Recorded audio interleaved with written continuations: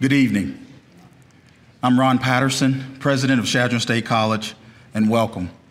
In 2006, the late Esther Pilster gave a gift of ranch, ranch land in northwest Nebraska near Whitney and Dawes County to the Mari Sandoz Heritage Society. The gift, which established an endowment, was a tribute to her late husband, Raleigh, who grew up on the ranch and his parents, John and Grace Pilster. As a beloved teacher and school administrator for 44 years, Esther served 29 years as a principal at Boyd Elementary School in Omaha. Esther wanted her gift to honor the courage and tenacity shown by Raleigh's parents and others who lived in the Great Plains. The Pilster Great Plains Lecture Series and other programs funded by the endowment and this wonderful gift. Chadron State College is proud and honored to be the site for this 2023 Pilster Great Plains Lecture and Sandoz Symposium. At this time, I would like to welcome Ms. Shannon Smith, President of the Sandoz Heritage Society.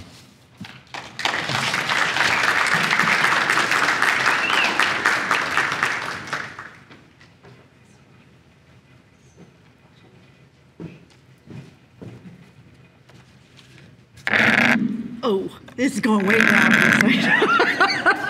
they didn't give me a box. I always forget that.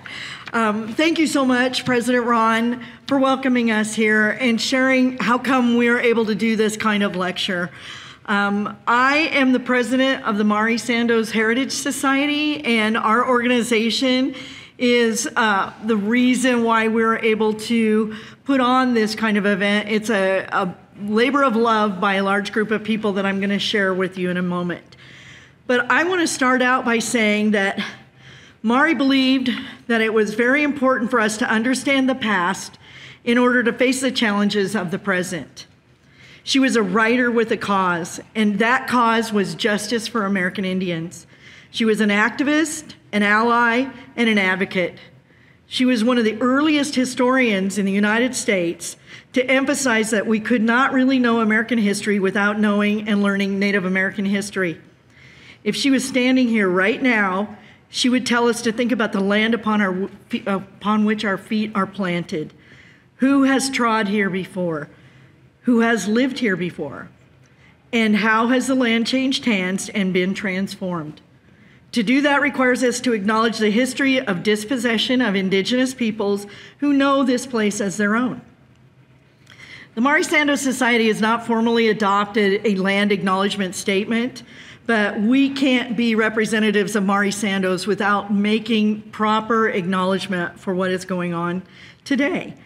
And so we believe that our work is going just beyond just acknowledgement of past injustice. We have to do more in this area, and our group of people are going to work devotedly to figure out what our actions are to, to support and promote Sandoz's legacy of being passionate about American Indian justice. A few years after her death in 1966, a group of people here at Chadron State College decided to form an organization to preserve her legacy. Soon, a nonprofit organization, the Mari Sandoz Heritage Society, was formed. For five decades, this marvelous and wonderful, productive organization has erected historical markers, established signs at her grave, and yes, we know they need to be repaired right now We've published books, we've created tours, and we've put on events like the one we are hosting here in Chadron today and tomorrow. I would like to ask the board members who are here today to please stand up.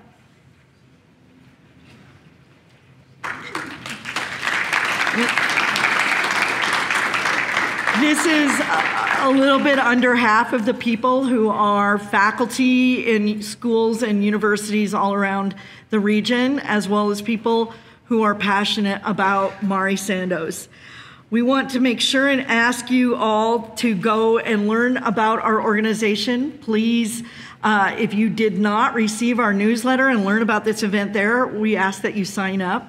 We have so many great things going on, and we hope that at some point you will consider becoming a member of our society.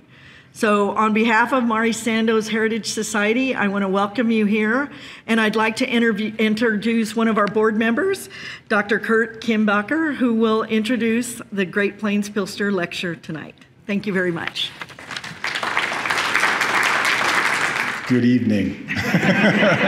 Andrew R. Graybill is the director of the William P. Clements Center for the Study of the Southwest. Got that right?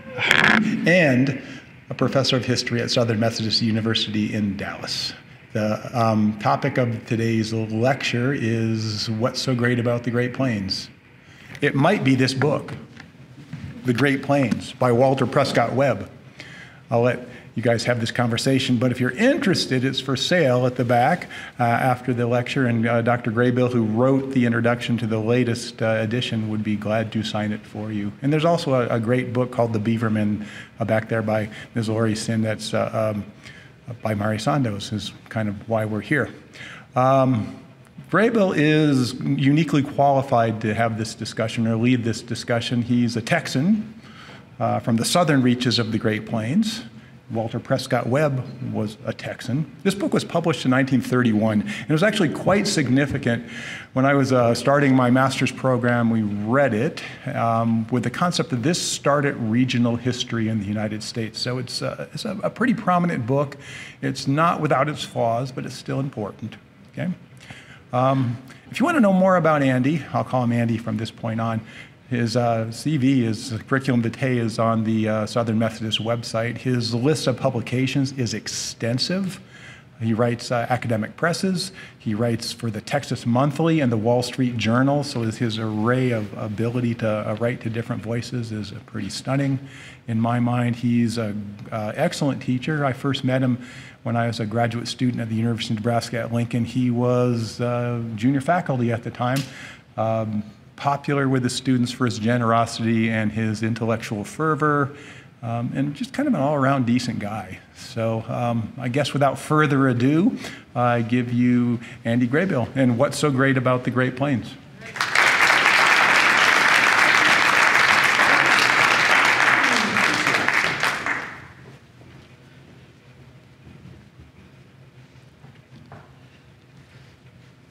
So I am taller than Sharon, but smaller than Kurt. Good evening. That was very nice, Kurt. I, being called an all-around decent guy, I don't hear that often enough. So I'm gonna, I'm gonna take that home with me. Um, let me begin by, uh, by thanking Kurt. Uh, I was thrilled when he got in touch with me. I don't know, gosh, um, Shannon and I were talking about this maybe I was talking with Elizabeth about this a moment ago. I don't know how long it's been on the calendar for quite a while, and it is really uh, it's a it's a thrill to be here. So I was uh, absolutely flattered when Kurt invited me to give uh, the Pilster lecture. I've known Kurt for a couple of decades, as he said. Um, we overlapped at uh, at UNL, and I remember the time, uh, or I've known Kurt long enough to remember when he had a ponytail that ran all the way down uh, the length of his back, which I guess I can tell the story. His mentor, who I'll mention in a moment, insisted and said, got to cut that, Kurt, if you're going to get a job. Um, I think he probably could have gotten away with it, but uh, at any rate, um, thanks very much, Kurt. Thanks also to other folks who've helped make my visit possible, especially Elizabeth Chase and Courtney Kuba. Uh, very grateful for the hospitality. And thanks to to the uh, Mari Sandoz Historical Society board and administrators, and of course um, to Chadron State College for uh, for making all this possible. It is really it's wonderful to be here, and I don't just say that to be polite. I would say that, but I really mean it um, because uh, I love Nebraska. I taught for almost a decade at the university. I don't think I've ever totally gotten over having left uh, the Cornhusker State and the good life. Um, in fact, when I was driving down the other day from uh, um, from Rapid City uh, and crossed into Nebraska, I was very cheered to see that sign that welcomed me back to the good life. I believe it. I visited Chadron only once before in 2008. I was telling Kurt about this when I made a 2,000 mile drive um, from Lincoln uh, all the way up to Fort Union on the uh, North Dakota uh, Montana border and then ultimately back to Lincoln. But I spent one night in, um, in Chadron. It was my last night, and then I headed uh, sort of east, southeast on Highway 2.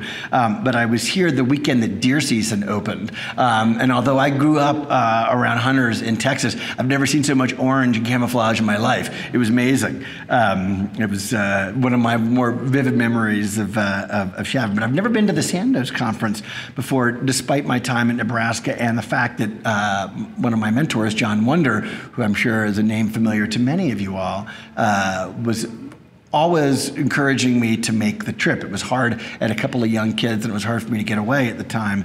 Um, but uh, it is poignant to be here less than a month after John's memorial service in Lincoln, which was over Labor Day, um, because he really loved this place. I think of all the things that John was involved with across the course of his career, this one might have been sort of the closest to his heart. I know how much this place meant to him, um, the people who uh, make this Society go. Um, and then, of course, the work of, um, of Mary Sandoz, Mari Sandoz. Uh, I was telling Dave Nesham that I've gotten that wrong since the beginning, but he told me, don't mess it up tonight, and I just did. Mari Sandoz. Um, so, uh, and let me say, I'm a big Sandoz fan. I wrote an introduction to a reissue of The Beavermen some years ago. Um, Old Jules was probably the first thing that I read when I moved to Nebraska. I'd never been here before 2003. Um, loved The Cattlemen, was just reading Ron Hull's introduction the other day and was thinking of doing some work on Longhorns and was uh, amazed to be reminded that Ron knew uh, Mari well, uh, in fact. Um, and of course, uh, Crazy Horse is just uh, a foundational work um, for people like me who are interested in the history of Native peoples on the plains. Um, a quick caveat uh, my PowerPoint guru, um, my ex-wife, uh, not available to help me any longer um, in preparing my PowerPoint slides. So um, I'm going to illustrate with words. That's entirely true. I'm not much of a fan of PowerPoint to begin with, but um, I've been kind of stranded in the last couple of years. So I'm going to do my best to paint with words tonight, like Walter Prescott Webb. Let me first ask, before Kurt held up a copy of the book, how many of you know the Great Plains? How many of you know the book? If not having read it, but by title. Okay, all right enough of you that I'm going to have to tell the truth tonight. Okay. Um, let me give just a little bit of background uh, about the book, which will be redundant for those of you who know it, um, but uh, critical for those of you who don't. Um, so while I was writing my dissertation a long time ago, many, many years ago, my dissertation advisor, who wrote a really wonderful book called The Destruction of the Bison An Environmental History, which is probably the best sort of single volume work uh, on the near extinction of the buffalo and really foundational work of Great Plains history. And he said to me something along the lines of, uh, quote, look, like it or not, you are now a historian of the Great Plains because I was writing about the Texas Rangers and the Canadian Mounties and thinking about what it meant for them to police their respective edges of this Great Plains bioregion. Um, he said, What do you have to add to the work of Walter Prescott Webb or Donald Worster or Elliott West or others?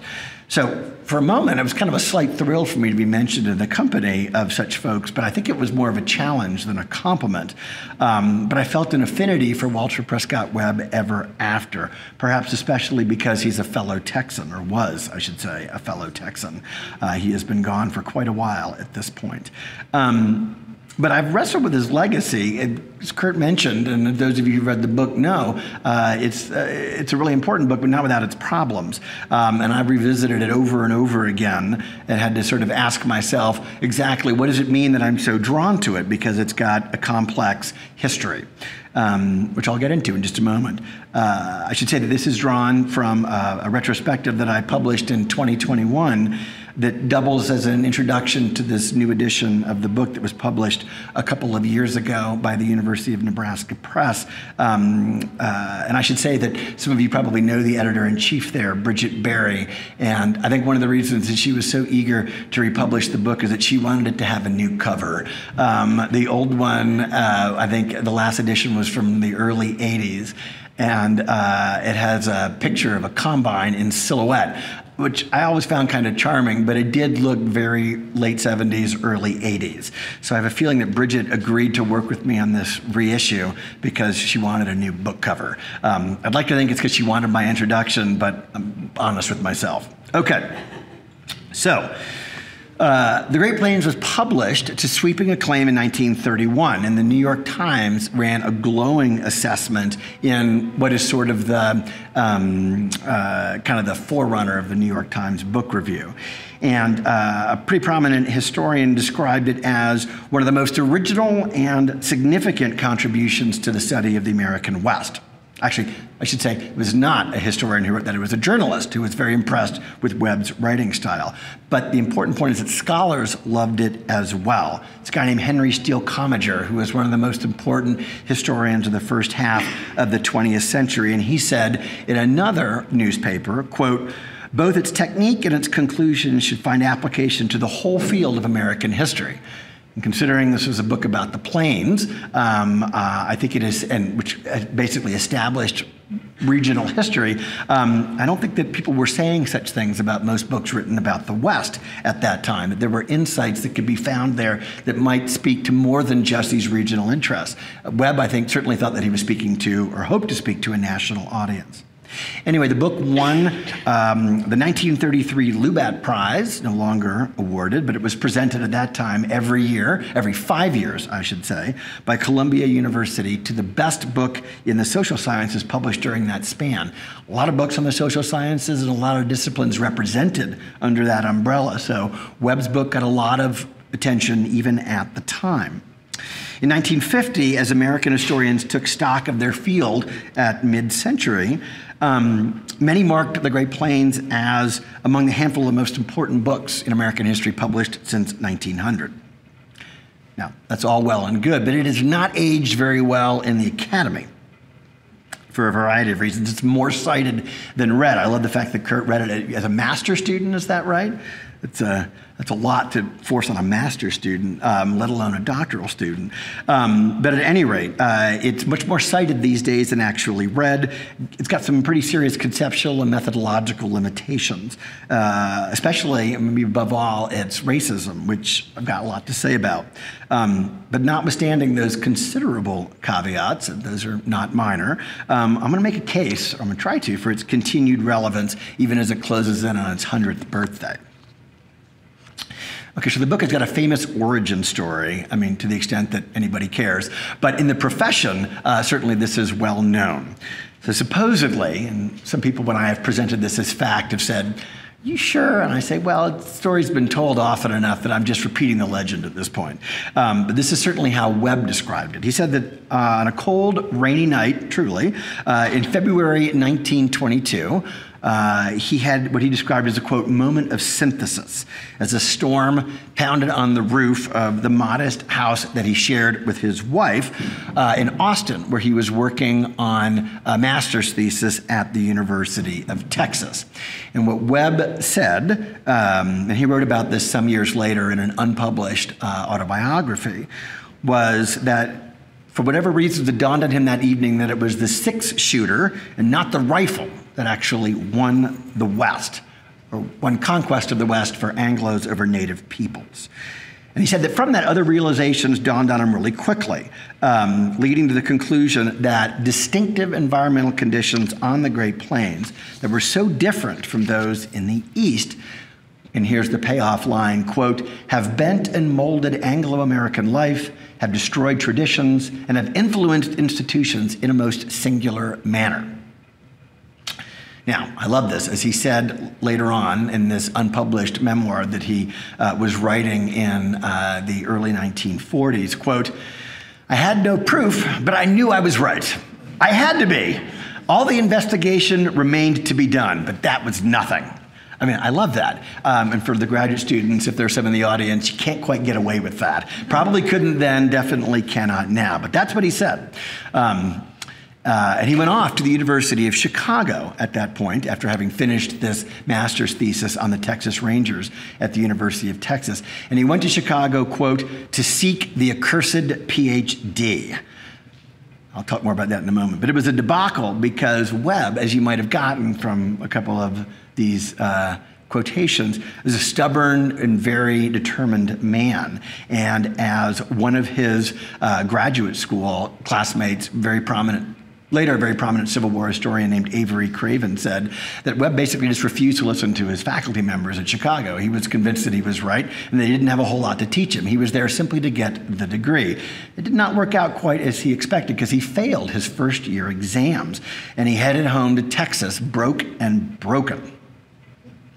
He said later that he learned but one lesson in the Windy City quote, don't take an idea, an original idea, into a graduate school. Um, he was still bitter about this more than two decades later. This is a point that he made when he was giving the address as the president of the American Historical Association, which is the leading academic organization for people who work uh, on, uh, on all fields of history. He made this a line in the address that he delivered in 1955. So, you know, 30 years later, he was still kind of rubbing his hands about how enraged he was by his treatment at Chicago. For for which I might add he was largely responsible.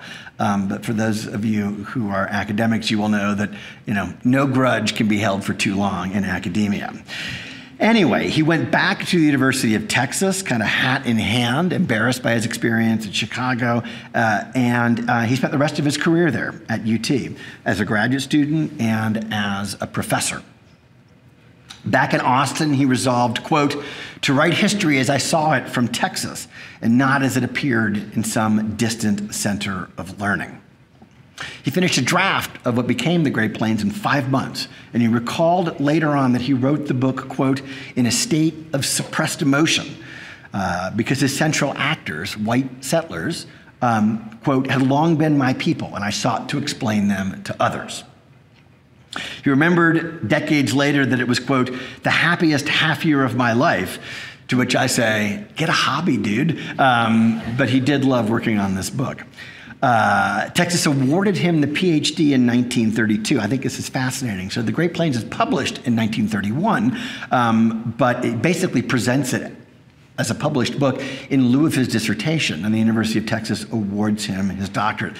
For those of you who are historians out there, it's a little bit like what I think happened with a really prominent environmental historian, Bill Cronon, who wrote Nature's Metropolis, which is just an extraordinary book, every bit the equal of the Great Plains in its own right, um, and kind of gave it to a dissertation committee as a published book and said, voila, give me the degree, crown me. Um, so Webb done that first in 1932. The argument of the book is simple and elegant, and I think it'll probably ring true for folks um, from Nebraska and from certainly the central and western plains. Namely, it's at the 98th meridian, which conveniently runs right through Texas, just east of Austin, so that Webb could include Austin um, as part of the West. I'll tell you what I mean in just a moment. But he said that this 98th meridian that runs, you know, obviously from the North Pole to the South Pole, that passes right through the Great Plains to the heart of the country, is an institutional fault line. And that Anglo Americans who settled there this region beyond the 98th meridian, uh, adapted to the region through ingenious technological innovations. Um, the six shooter was one. For those of you who've read the book or may have read about it, what are the other two? Do you remember? The things that made life for Anglo settlers on the Great Plains possible. The six shooter, of course, for being able to be fired quickly uh, from horseback, um, quickly and accurately from horseback in combat with Native Americans. What are the other two inventions that made Anglo settlement possible? Barbed wire, absolutely, or as we pronounce it in Texas, bob wire, um, which is critical, of course, because there's not a lot of wood for fencing. Um, so it's a much more sort of efficient way uh, to, uh, to build a fence. Uh, pretty durable, um, although certainly would not retain buffalo. Um, and what's the other one? Windmills. Windmills. Oh, Renee. All right, you've read the book. I choose to believe that you just knew it intuitively. Okay. The six shooter, barbed wire, and the windmill are the things that made Anglo settlement, Anglo conquest really, of the Great Plains and regions further west possible. At times, the book reads a little bit like a love letter to his forebears. And again, remember what I said a moment ago that uh, he said he wrote this in a state of suppressed emotion. Let's talk a little bit about some of those problems. I've given you a history of the book. Let's talk about what I think are some of its, some of its key problems.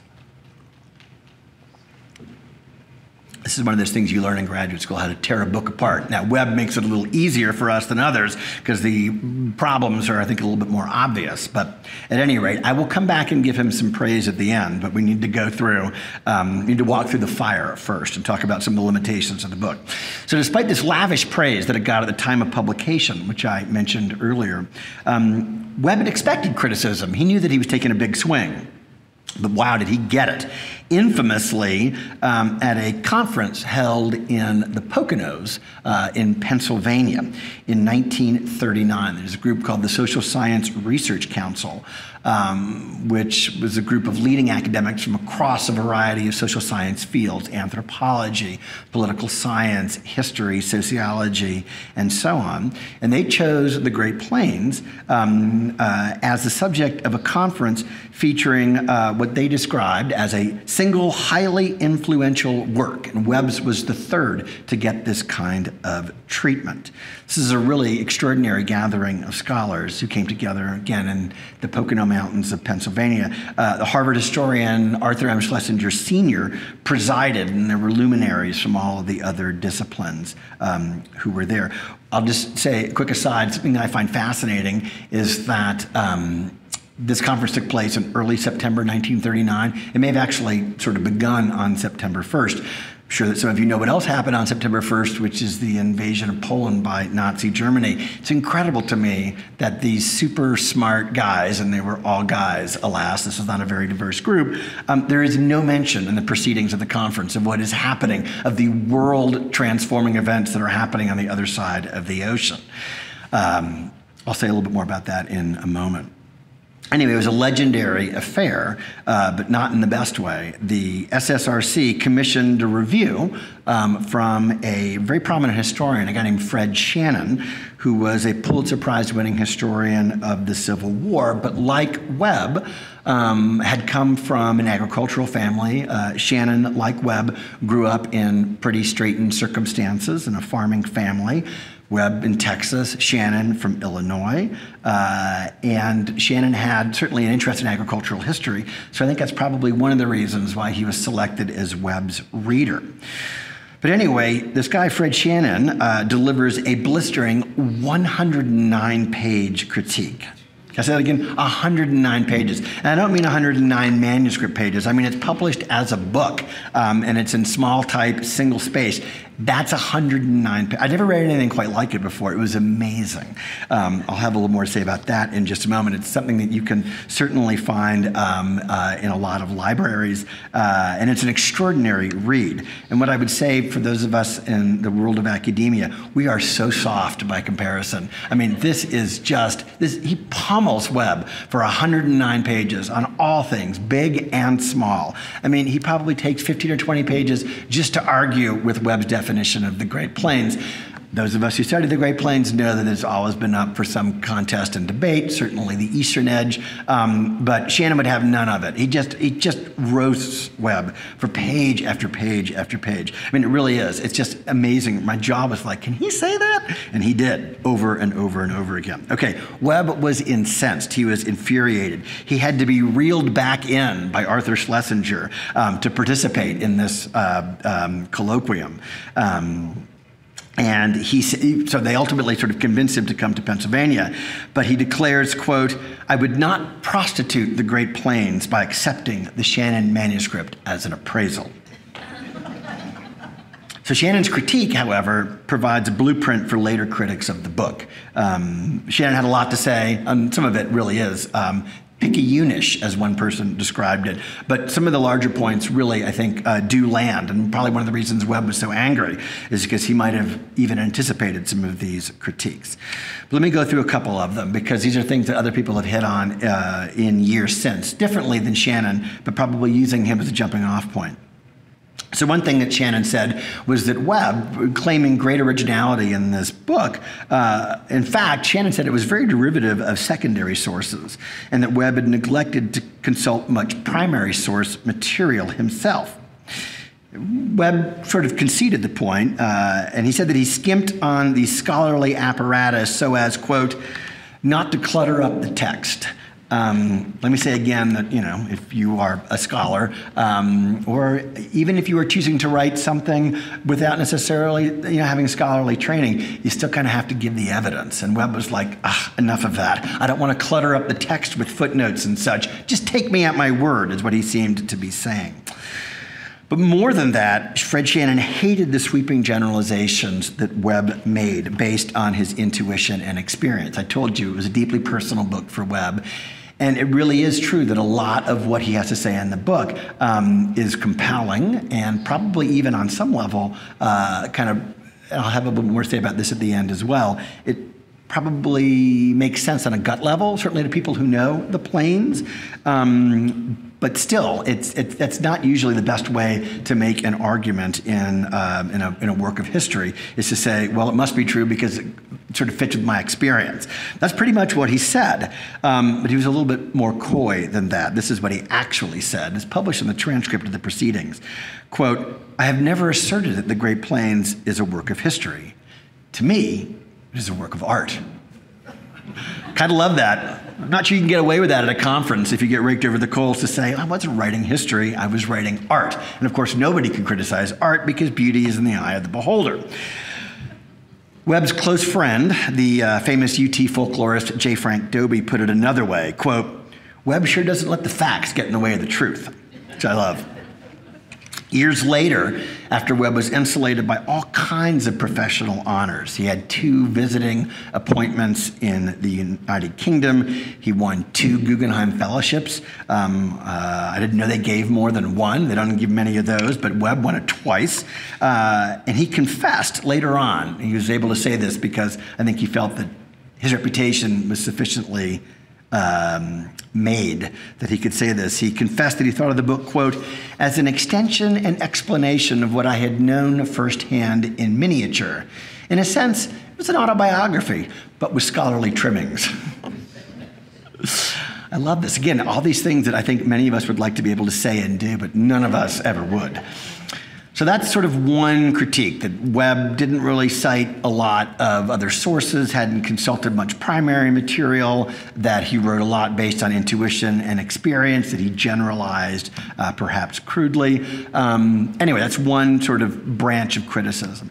The second major critique is what the environmental historian Richard White has termed, quote, crude environmental determinism. In other words, Webb uh, left no room for things like culture or contingency. That he said, because of the environmental conditions on the Great Plains, that the history here really could have only played out a particular way uh, and in a pretty narrow set of possibilities. Stiffest challenge to that idea um, to Webb's determinism is lying in plain sight, and that is because the inventions that allowed Anglo Americans to conquer the nation's midsection all of them were pioneered elsewhere. They were not actually invented here on the Great Plains. The six shooter, I bet a lot of you know, was invented by Samuel Colt at sea, okay, which is why it's called the Navy Colt. So Colt wasn't even on land, on terra firma, when he came up with the idea for the Colt revolver. The windmill was invented in antebellum Connecticut and even barbed wire, which I think Webb was most fascinated by, um, that was patented by Joseph Glidden 10 degrees east of this 98 degree fault line that Webb thought was so important. So that's the second criticism, this environmental determinism. But Fred Shannon had less to say about probably the most distressing aspect of, of uh, Webb's book to the modern reader, which is Webb's racism, and would certainly jump out at you if you were to read the book today. You'd be, I think, pretty stunned by some of the things that he wrote and thought.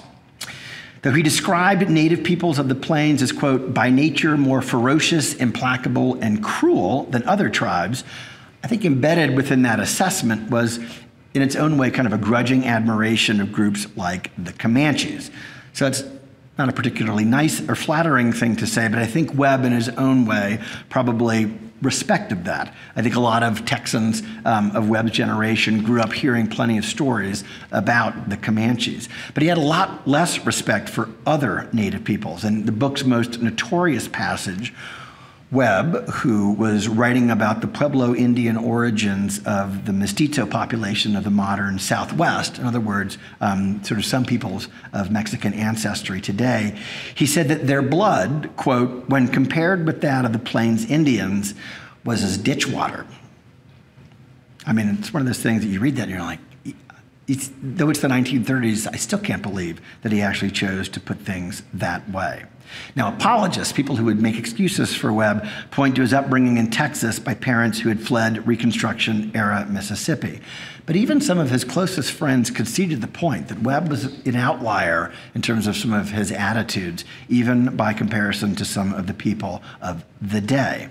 One associate explained his anti-Mexican bigotry this way, quote, subconsciously, Webb still had that Alamo Texas Ranger myth deeply engraved.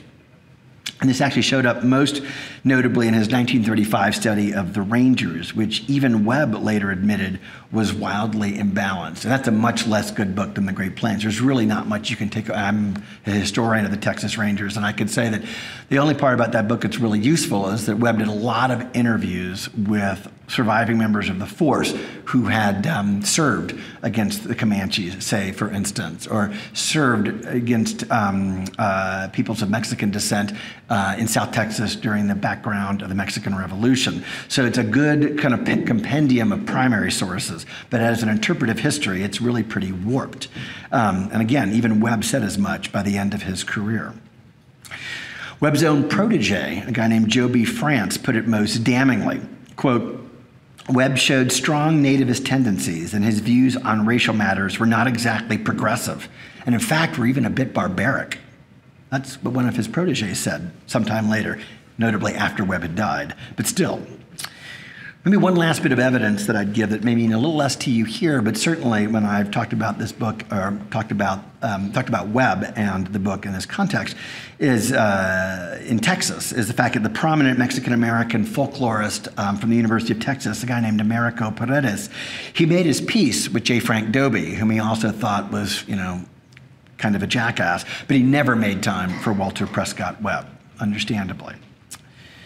Okay, so having said all of that, I guess the question then is can this book be saved? Or as a friend who read an early draft of this essay on which my, this talk is based asked me, why would you even bother?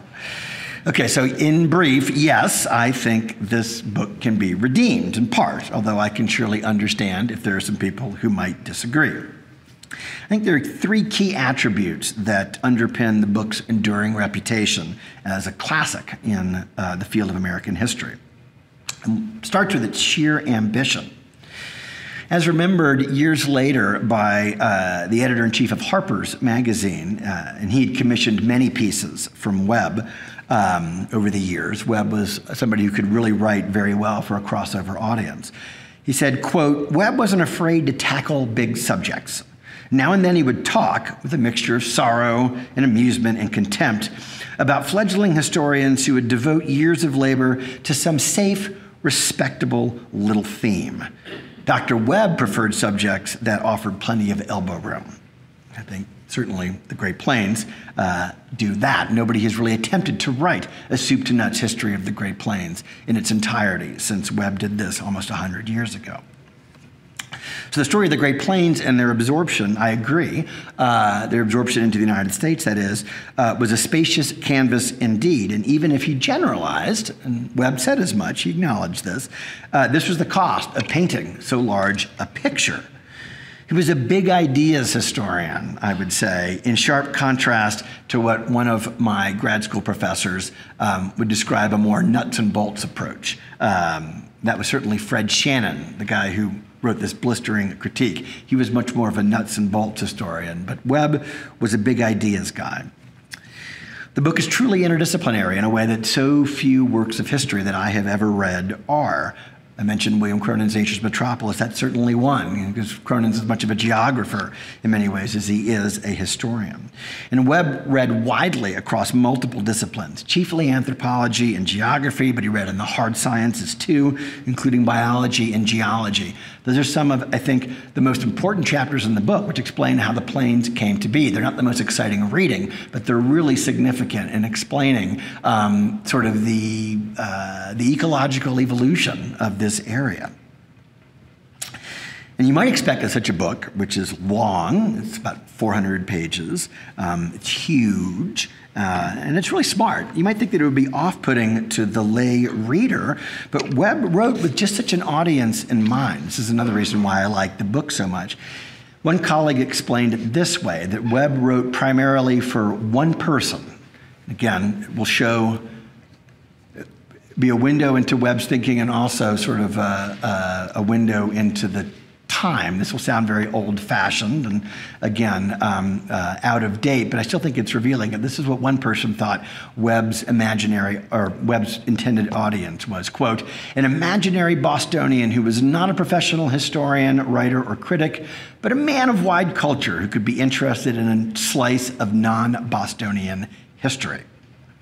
Um, I think that's a pretty narrow audience, potentially. But again, the idea is that Webb is writing for an audience that might not necessarily be drawn to the history of the West. If, you know, sitting in some comfortable library in Boston would think that the only history worth writing would be the history of colonial America or revolutionary America. Webb had other readers in mind. Webb had always dreamed of being a writer, and this is uh, maybe along with the story of how the Great Plains came to be, that cold, rainy night in 1922. There's probably even a better known story about Webb. And in fact, um, when, I was, uh, when I was reading about him, uh, there was a lot to choose from because uh, somebody said that probably no historian has had as much written about him and his works than Cotton Mather, I think is what, um, what this other writer said. But at any rate, the other really famous story that Webb told, which is, this one is documented, um, and it's really, it's deeply moving, that in 1904, Webb was born in 1888. So he was 16 years old and he was living uh, in an area called the Cross Timbers, which is a really hardscrabble area um, uh, west of Fort Worth. And uh, he grew up very poor. Um, his father was a dirt farmer who occasionally uh, uh, augmented his income with um, doing some, uh, some teaching uh, in uh, local schools. But they lived rurally, and, um, and Webb grew up poor. Uh, and in 1904, he wrote a letter to uh, a Southern literary magazine called The Sunny South, which I don't think has been in publication for a very long time. But anyway, he sent this letter in and basically he was lamenting his fate that he was a guy who loved to read and loved to write, but how does a kid like him ever manage to be able to make a life or a career out of this, considering his pretty you know, uh, straightened circumstances. So he writes this letter and it gets published. And it's spotted um, in the magazine by a guy named William Ellery Hinds, who was a toy manufacturer who lived in Brooklyn. And Hinds sent Webb um, a whole bunch of reading material, and he sent him a really encouraging note that said something about like failure is a word that is not known in the lexicon of young men, or something along those lines. Um, and it changed Webb's life because, even more importantly than that, Hinds later funded Webb's study at the University of Texas and allowed him to get a college degree. And it just totally transformed his life. In fact, years later, Webb described it, uh, and Webb was not a religious man, but that it was the best example of Christian charity that he could ever think of. Um, and he spent, actually, he, one of his favorite pieces is the piece that he wrote. I think it's called The Search for William Ellery Hinds that he published in Harper's Magazine, um, I think in the late 1950s, maybe 1957, I can't remember, um, where he went out trying to find this man or trying to find uh, people, and he was able to track down a few descendants, but he never met him. Um, this was all uh, sort of a relationship that was sort of through correspondence and through these timely arrivals of money that allowed Webb to go to college. Um, and he dedicated, the, I'm not sure it was much of a gift, he dedicated the Texas Rangers to William Ellery Hinds. Better if he'd given, it, recommended, or excuse me, um, you know, uh, uh, inscribed it, uh, inscribed the Great Plains to him. Anyway, Webb had much to say about writing. Uh, in a piece for Harper's, he lamented the rise of what he called, quote, scientific history. And you'll appreciate this. Um, out of, quote, which arose the idea that a great gulf exists between truth and beauty, such that the real scholar must choose truth, and somehow it is better if it is made so ugly that nobody could doubt its virginity.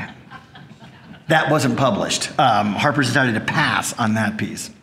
Um, he divided university based historians into two camps quote, those who can't write and those who can but don't. Webb put himself as a member of a very small group of those who do um, and who consider writing an art. And the Great Plains is replete with really great visual sentences like this one. This is what he says uh, in the introduction. Quote, east of the Mississippi, civilization stood on three legs, land, water, and timber. West of the Mississippi, not one but two of those legs were withdrawn, water and timber, and civilization was left on just one leg, land. Small wonder that it toppled over in temporary failure. You can just see that. But the most important thing that Webb did was he defined the West in terms of aridity. And he settled on the 98th meridian as its eastern edge. That any place that gets less than 20 inches of rain per year, those parts of the continent, or really he was, wasn't thinking about Canada, those parts of the United States could be considered Western. Now, of course, there are some problems with that. The Pacific Northwest gets a lot more rain uh, than, um, than 20 inches per year. But generally speaking, um, this is a regional definition that really has some teeth, I think.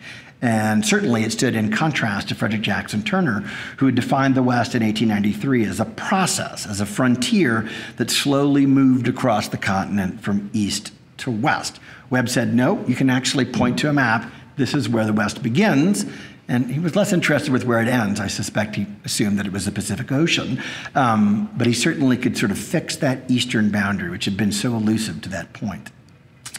Uh, he makes his point even more finely I'm almost, speaking of finally, finally, I'm almost done. But he makes this point even more finely in a piece that he wrote in Harper's in 1957 called The American West Perpetual Mirage. And it was loathed by Westerners who took offense at what he described as sort of its deficiency. He said that the West was deficient in a variety of ways, not only water, but also in terms of culture and sophistication and so on. Now, remember, this is a place that he loved. So he didn't say that he was criticizing it for the sake of criticizing it. He was criticizing it in order um, so that the people who lived here would know their own past, who would know their own history.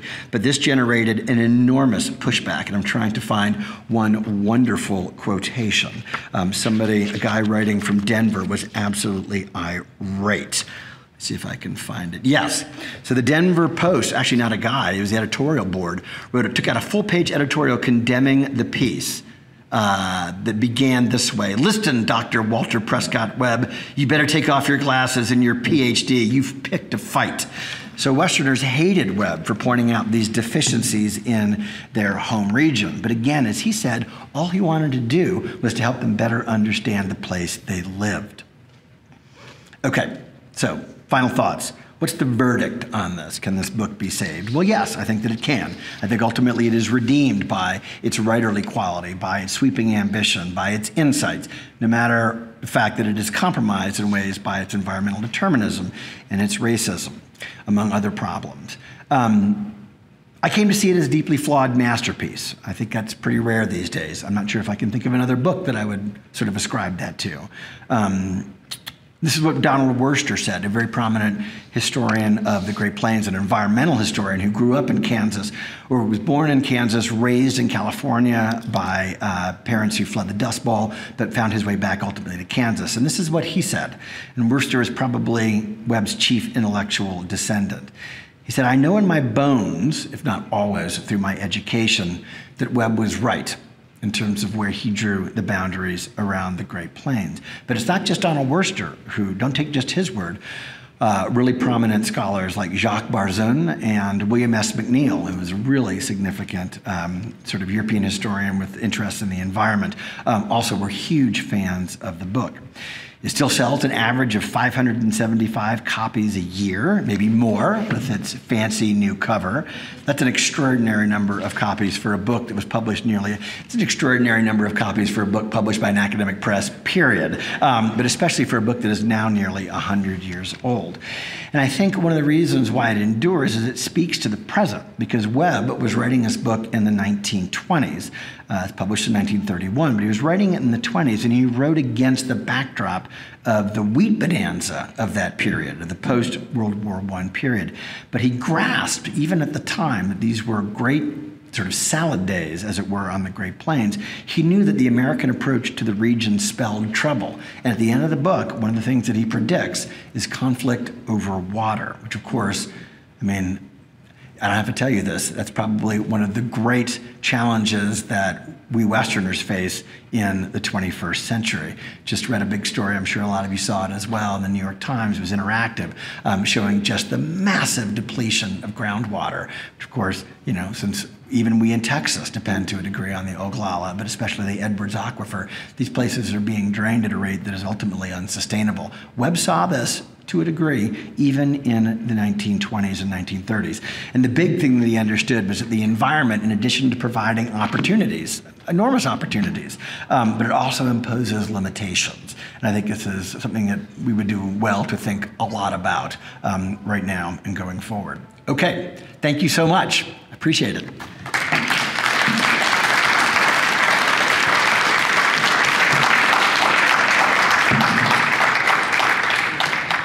And if you've got some, I'm happy to take questions as long as they're friendly. No, I'm kidding. I'll, I'll, I'll take any questions. And I get to run the mic around so that everyone can hear. Uh, before questions, um, especially folks, and there's cookies over there. Please make sure there aren't any left at the end of this. Yeah, don't don't miss cookies. And also, there are books for sale in the back when you're finished. And I forgot you wrote the introduction to the Beaver Men, and that's one of my favorite books. Oh, I, I, I love doing that. And I guess I used to that. Um, any questions? I'll bring you a mic. Oh, Renee's going to ask me a tough one, I know. Hi, Andy. Oh, I'm bracing myself.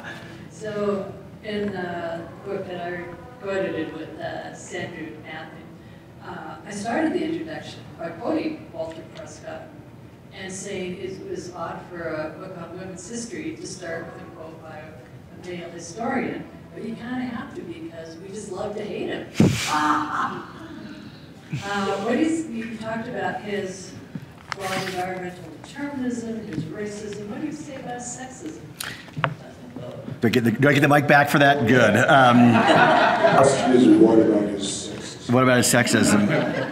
There you are, Doctor. Yes. Uh, well, that is, um, uh, and I'm, I'm trying to find where, because Webb, to a degree, predicted this. Oh, I'm going to put this in the stand for a second. Only. Yeah, it, you know it's, it's amazing. Um, but I want to I want to see if I can read him in his own words because it'll it'll it'll it'll make you um, cringe.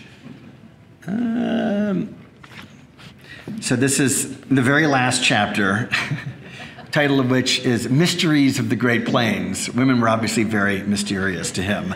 Um, so of a chapter of maybe 30 or 40 pages, there's one section, and Renee, you are you're actually you're wrong. It's a, not two pages; it's a page and a half.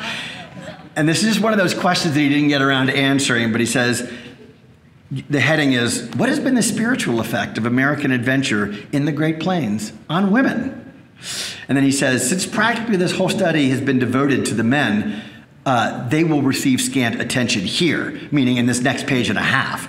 The Great Plains in the early period was strictly a man's country, more of a man's country than any other portion of the frontier. Men loved the plains, or at least those who stayed there did. There was zest to the life, adventure in the air, freedom from restraint, on and on and on. So, even in trying to characterize the experience of women on the plains, he frames it in terms of um, in, in opposition to sort of this sort of wonderful male, manly man experience. So, uh, and that was actually the other that was probably the chief criticism of the friend of mine who read this who is a uh, women's and gender historian who was like aside from all the other things that are wrong with this book um, the, the sheer absence the sort of inattention to the experience of women who as any of you who know anything about the history of the plains or the history of the west women are obviously uh, absolutely indispensable. Um, you know, in Native society, in Anglo Pioneer society, you can't write the history of the West. Uh, any more than you can write it without Native peoples, you can't write it without the experience of women. And um, I suspect that Webb told you all that what you saw right there is what you get. That because in his mind it was a manly man's frontier, that women were basically along for the ride, um, and that their experience was simply not worth investigating. That is another significant deficiency in the book, for certain. So why? So what did you ultimately do? Did you did you did you begin it with Webb, or did. you did? As, as, a, as a way to say, um, I mean, this is why we have books on women, because they were so ignored for so long. Yes, and you know, Webb set the tone. If this is a regional history, um, Webb did not make room for many people in this besides white men. And uh, I'm teaching my women in the West class right now, and so we love to hate Webb. Uh, and we really love the fact that he uh, talks about the wind driving women crazy. But never the men. No, and you read, uh, in, well, in, Old Jules, of course, when uh, Harriet or Henrietta goes crazy. You know.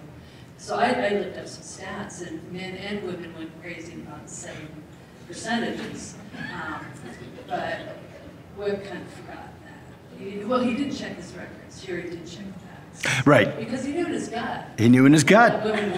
I mean, and that's, I think that's really, I, I think ultimately that's the answer, is that Webb had no, made no effort, Webb made no effort to try to understand the experiences really of any other people besides, uh, I mean, it was kind of run through his own gut. Ultimately, that was his, um, maybe his chief archival repository uh, was his stomach um, from an intuitive perspective. And so on some level, it tracks that he would have given, that he makes no attempt to understand the experiences of Native people besides setting them as a foil for uh, Anglo pioneers who are moving west and why women just really don't, don't feature in the book at all. I mean, page and a half.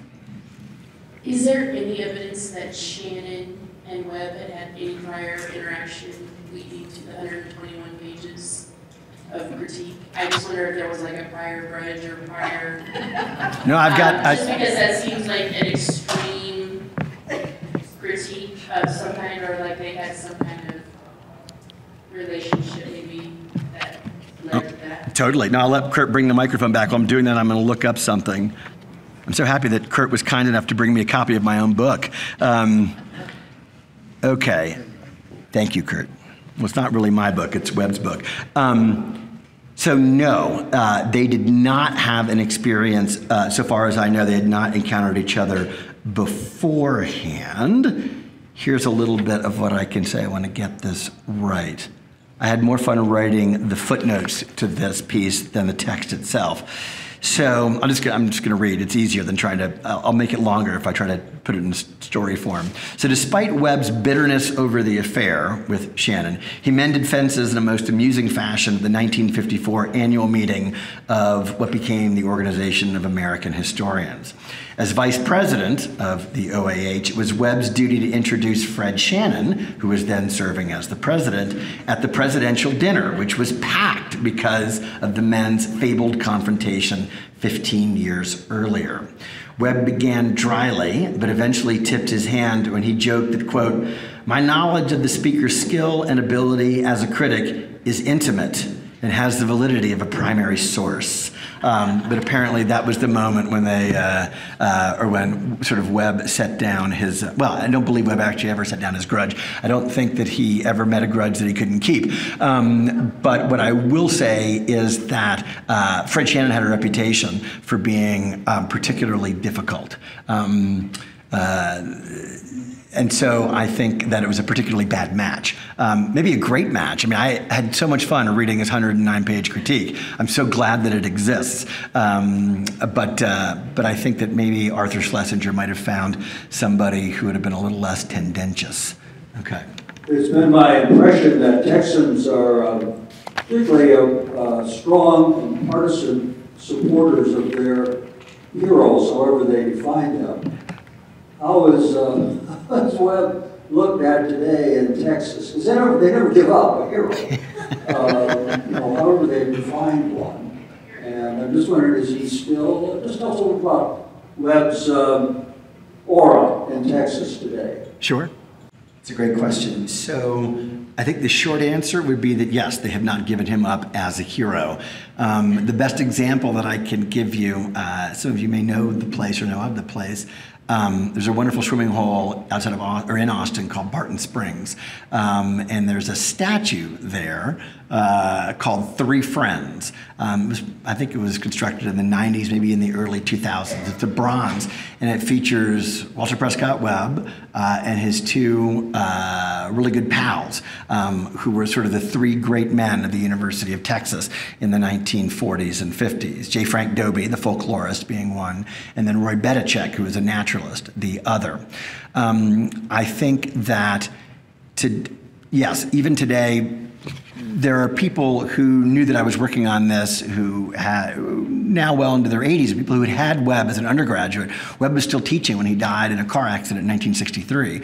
So I've had people who had him in the 1950s come to me and say he was just an extraordinary teacher and a great mentor. Um, but the larger point has some of this criticism sort of seeped in. Uh, I think I think it has, and I think that particularly with. Um, uh, the rise of Chicano his, history, particularly Americo Paredes being a particular uh, sort of a forerunner, writing in the 50s and 60s. But I think that Webb's reputation has certainly taken a hit in the academy.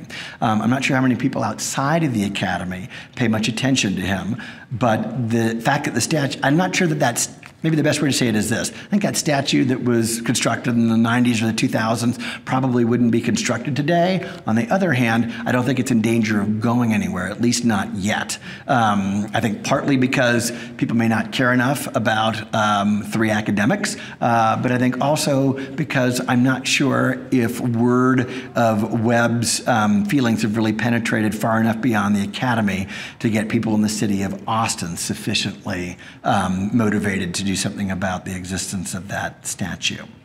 Um, I think among academics, probably most people feel somewhere between maybe the way that Renee and I do, downright hostility, understandable, um, for Renee, and some um, deep ambivalence on, on my part. But like I said, I also think there's a way in which he's probably becoming increasingly irrelevant. Uh, partly because of the limitations of the book, but also because there's not a lot of books that are 90 or 100 years old um, that really get a lot of attention, um, even, uh, even if they are as original as this in a lot of ways.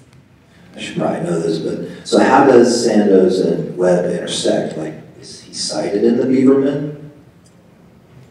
Anybody in the room can answer that, I guess. Yeah, I may need some help on that one. Did she admire him? I don't know. Did she admire that's a, that's a great question. I gave a little thought to that, but only as I was driving from the airport uh, yesterday down here and thinking, I wonder if there's some ways that I can put Webb and Sandoz in conversation. Um, if there's a book of hers in which Webb might make an appearance, my guess that it would be The Cattlemen, uh, because Webb was absolutely uh, one of the problems with with this book, but especially the Texas Rangers book, is he was just inordinately impressed by cowboys and by cattlemen and by rangers, uh, and. Uh, sort of uncritical in his reflection. Um, and he argued that the only true American literature is the literature of the open range. Uh, that is how, it's another one of the mysteries of the Great Plains. Um, and having read a lot of that, I, yeah, I hope that is not the only contribution to an American literary tradition. Um, but the short answer is so Sandoz uh, dies in 1966 um, and was writing, you know, throughout much of the 20th century. I, I would suspect, I have to believe that she must have read the Great Plains. I think it would be hard not to if writing about the range cattle trade. Um, what Webb might have read of hers, I don't know. Uh, I doubt the Beaver Men, uh, only because that's more, I mean, Webb's interests were really focused one of the uh, criticism of the book, which is reasonable, is that it's ultimately it's not even a book about the Great Plains. It's really a book about sort of Texas and the Southern Plains. So I don't know if how much their interests would have intersected outside of the cattlemen. Um, but I would also say that uh, Sandoz. Um, good a writer as Webb is, uh, he's not in Mari Sandoz's league. And as Shannon was saying, and talking about um, uh, about sort of the significance of, uh, of Sandoz's work. She, I think, was much more interested in the lives of the people that she wrote about. I mean, I did. Crazy Horse is just an amazing book, a work of extraordinary imagination, I think, in an attempt to try to understand what that world looked like through the eyes of somebody who had a very different set of experiences than hers. I don't think I don't think Webb was writing on the same plane. Sorry. I guess I shouldn't apologize to him. No pun intended. No. Yeah, exactly, exactly. One more question. I should have given a shout out to the students. Y'all are amazing to come and stay. Um, I just wanted to ask, you know, we've heard a lot about why this is a kind of an archaic book, but are there any redemptive qualities? I mean, why, why should one read this book today? What can we learn from it? What can we extract from it? I mean, it's purposeful, I think. Sure, sure. Um, I, I, I think part, I part of it is, um, is uh, his attention to uh, the importance of style um, and the fact that he really he did try to write for that elusive crossover audience. I think uh, that most of my um, academic pals would agree that as historians uh, or scholars in other disciplines, we don't do that maybe with the same um, with a level of attention that we and, and intention that we maybe could and should which is why so many of the books that are read and consumed by the public um, are written by journalists a lot of whom get a lot of things right.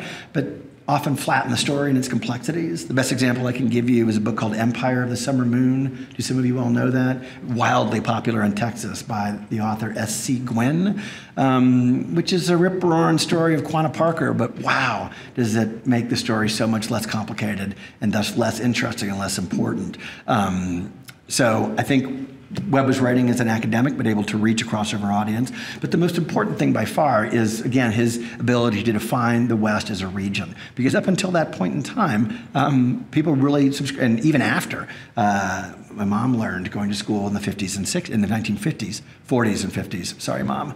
Um, her version of history that she learned, I think most people in American public schools at that time were learning Frederick Jackson Turner's version of not just the West, but the whole sweep and scope of American history. Webb, he didn't put an end to that, but he gave us a different way of thinking about the West as a discrete region. Um, and I think the other part about Webb, he's not the first to do this, but he does it probably better than anybody to that point at least, is thinking about the environment as a historical actor in its own right. Um, the environment acts in addition to being act, acted upon. That it's that reciprocal relationship between people and the natural world that is so important. And Webb got that, uh, I think, uh, early on, and in a way that um, I think few people were able to write about quite so uh, eloquently and. Um, intuitively. There it is. Uh, and I think that's just really important in setting the stage for so much good work in environmental history and in Western history and in regional history more generally. Because Webb, this book really is, in its own way, kind of the first foray into American regional history, period. I'm not doing any violence, I think, to colonial American historians or people who are writing on other places and times. But I think Webb, in terms of thinking about what makes a region a region environmentally and ecologically speaking, in addition to just the people who live there, I think Webb was ahead of his time and gave us a model for what that might look like, even if it is not a terribly inclusive history. Thank you. Thank you. Um, I think that concludes this portion. Thank you. Hand for representing. Thank you all.